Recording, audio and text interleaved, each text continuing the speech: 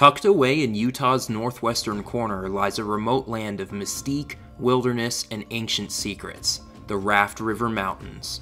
The Raft Rivers are a seldom visited mountain range that offer the intrepid visitor solitude and beauty, two things that cannot be taken for granted in the world we live in. Containing Utah's oldest rocks and Utah's only population of Yellowstone cutthroat trout, the Raft River Mountains have an illustrious story to tell. I had the pleasure of visiting them recently, and I'm excited to share with you guys the Raft River Chronicles 2.5 billion years of history in northwestern Utah. The Raft River Mountains are located in the northwestern corner of Utah, roughly two hours from Salt Lake City. To get there from SLC, simply take I 15 north for 72 miles until you get to the I 15 I 84 junction in Tremonton. Instead of merging to head to I 15 north, simply continue to stay on I 84 west. Continue on I 84 for 46 miles. Take exit 5 for Utah State Route 30 and head west on State Route 30 for 16 miles. You will continue straight onto Utah State Route 42 and stay on 42 for 9 miles. You'll cross the border into Idaho, turn left onto a dirt road named Strevell Road. Head west on Strevell Road until you get to Clear Creek Road, another dirt road. Turn left onto Clear Creek Road so that you're heading south. Clear Creek Road is your access road to the Raft Rivers. Simply continue on Clear Creek Road for about 6 miles until you get into the mountains. You'll cross back into Utah before entering the Raft Rivers, and you can camp at Clear Creek Campground to kind of set that up as your base, or you can continue driving on Clear Creek Road until you see a cool spot you want to stop at. Once you do all that, you'll be in the heart of the Raft Rivers. And on the road ahead of us is the beautiful Raft River Range here in extreme northern Utah. Nice, I agree and uh, we're headed up to Clear Creek to go for a little hike and uh, see the scenery. So the raft rivers are beautiful and they're really interesting geologically speaking. So let's get up there. Excuse me? Were you saying something? Oh, gotcha.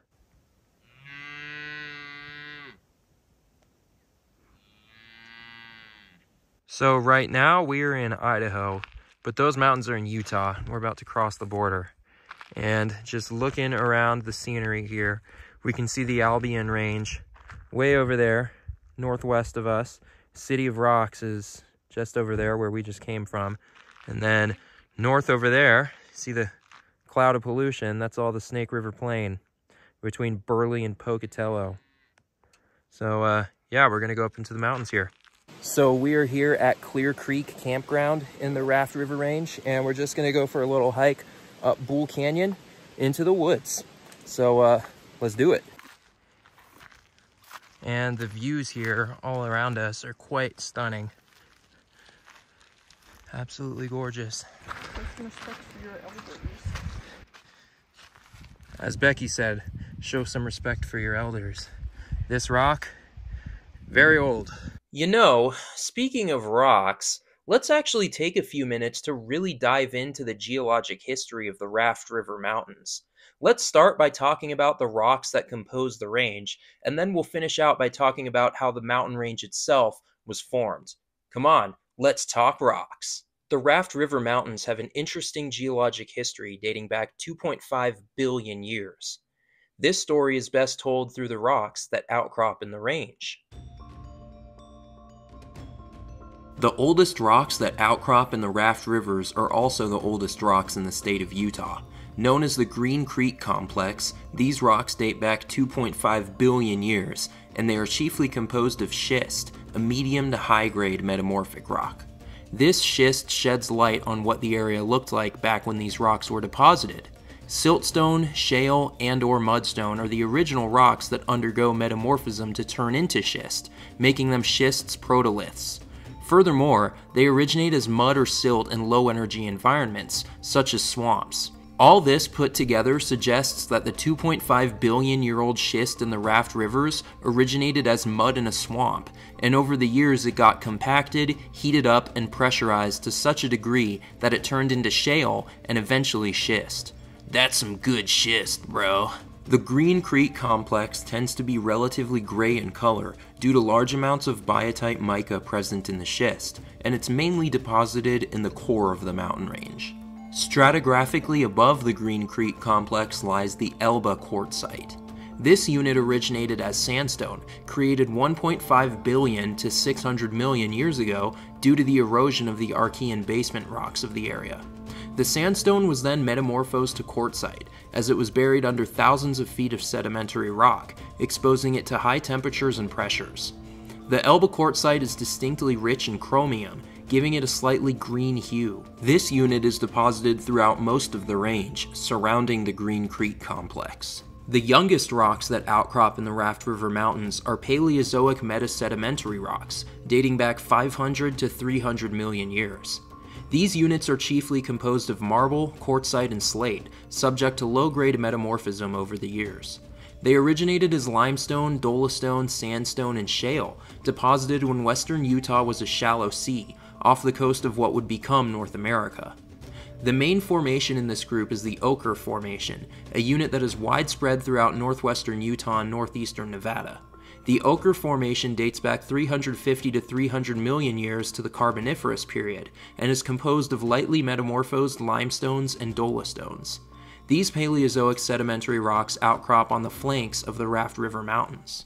Now that we've discussed the rocks that compose the Raft Rivers, let's talk about how the Raft Rivers themselves were formed. The Raft River Mountains are the eastern lobe of the Albion Raft River Grouse Creek Metamorphic Core Complex. That's a freaking mouthful of a name, so I'll refer to the area as the ARG MCC. The ARG MCC has quite the eventful history. We just discussed the main rocks of the Raft Rivers, and between the end of the deposition of the Oquirrh Formation 300 million years ago and about 42 million years ago, the mountain range had a pretty chill period of no major geological events. The Sevier orogeny did kick off during the Cretaceous period and persisted from 160 to 50 million years ago, but that mainly affected the Wasatch Range to the east, and all it really did to the Raft Rivers was slightly metamorphose that Oquirrh Formation. With that being said, things got really eventful 42 million years ago. Initial volcanism began in the area during the Eocene epoch, from about 42 to 34 million years ago, or MA. The Almo Pluton, located in City of Rocks, formed 32 to 28 MA, a few million years after this initial period of volcanism. During the Miocene epoch, roughly 15 million years ago, the major geologic process of the region that continues to shape the land today began basin and range crustal extension. This had a profound effect on the ARG-MCC, as the metamorphic core complex wouldn't exist without that crustal extension, which generated a litany of faults in the area. Beginning 14 million years ago, these faults became highly active, and the main processes that formed this metamorphic core complex were set into motion. The process of exhumation, or bringing rocks from deep in the earth to the surface of the earth along faults, began roughly 14 MA during the Middle Miocene. Detrital zircon studies show that the ARG-MCC began its development on the east side of the metamorphic core complex at this time. From 13.5 to 10.5 MA, rapid slip along low-angle detachment faults, or décollements, and high-angle normal faults exhumed the Green Creek complex, Elba quartzite, and Paleozoic metasedimentary rocks to the surface of the Earth. From 10.5 to 8.2 MA, continued slip resulted in topographic depression in the immediate vicinity of the complex, effectively forming the Raft River Basin to the north of the range. After 8.2 MA, the ARG MCC was rotated by younger faults that extended the area in east-west direction. This aforementioned exhumation occurred in the ARG MCC for 7 million years, eventually petering out 7 million years ago. No igneous intrusions are present in the Raft River Mountains, but they are abundant in the Albion and Grouse Creek sections of the Metamorphic Core Complex. Additionally, the Raft Rivers are unique in the fact that they are an east-west rather than a north-south oriented mountain range in the Great Basin. This is due to the fact that they are actually just a lobe of a larger metamorphic core complex. While they are geographically their own unique range, geologically speaking, they are part of a larger range that is mainly north-south oriented. The ARG MCC is extinct today and has been extinct for the last 7 million years, but if you want to visit a metamorphic core complex that is currently active, I recommend heading over to the Ruby East Humboldt Metamorphic Core Complex about 100 miles away in northeastern Nevada. As you could have probably guessed, the Ruby Mountains and East Humboldt Range compose the Ruby East Humboldt Metamorphic Core Complex, or REH MCC. The faults that bound the REH MCC are still active, and actually produced a magnitude 6.0 earthquake in 2008. Now that we've learned all about the geology of the Raft River Mountains, let's get back to the hike. So we're going up uh, Bull Canyon. It's the name of this canyon here. You can already see to the left, we've got a lot of aspens, Douglas firs along the uh, creek, and a lot of single leaf pinon pine here. So yeah, the raft rivers are quite interesting in terms of their biodiversity, especially when it comes to conifer species. Here we're at the northern edge of the Great Basin, and you've got Douglas fir, you've got subalpine fir, Rocky Mountain lodgepole pine, limber pine, and a lot of aspen, a lot of ash, a lot of cottonwood, and you've also got these single leaf pinon pines here, as well as Utah junipers and Rocky Mountain junipers. So right now we're at about 6,600 feet in elevation. And you can see on this northern, on the northern side, because we're on the northern side of the range, heavily forested. However, if you look at the range from the south, it's almost bare. It's because a lot of these species that live here, the Douglas firs, the subalpine firs, the pines, they like the more northerly slopes. Um, the southerly slopes are just a little too dry, a little too hot for them. So yeah, little little uh, biodiversity lesson here. Some of the animals you can find here, mule deer, elk, moose, coyote, mountain lion, you know, your gambit, lots of birds of prey, lots of songbirds, and yeah, a lot of species out here in the Raft Rivers. So we're coming up to the edge of the woods here in a minute. Pretty stoked for that. And of course, how could I forget to mention the Curl-leaf Mountain Mahogany. So we are up here in the woods, which was the destination, and got a nice little melange of uh, Douglas fir, subalpine fir, Rocky Mountain juniper, aspen, Rocky Mountain maple, and uh, pinon pine around us. Pretty cool, pretty cool scenery. And just saw a hummingbird, which I tried to get video of. I don't know if it really came out, but yeah, love it here. Raft River Range, Utah.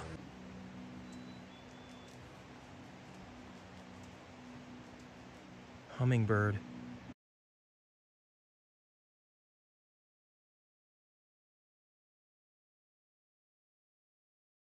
All right, we are now headed back. Raft rivers were beautiful, but it's time to go on our next stop. The woods are great here, although the bugs were absolutely biting me. So there's that. And the views coming back down from up there, Bull Creek, beautiful. Again, that same unit of rock that's just slowly dipping towards the ground that was exhumed or brought up on a detachment fault or décollement in this metamorphic core complex here in the Raft Rivers.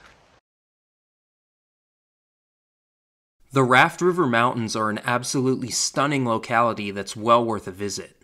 You're unlikely to see any crowds out here, and the sense of mystique and awe that this wilderness evokes is second to none. If you're interested in learning all about the world around you and seeing geology in action, this place is a must visit.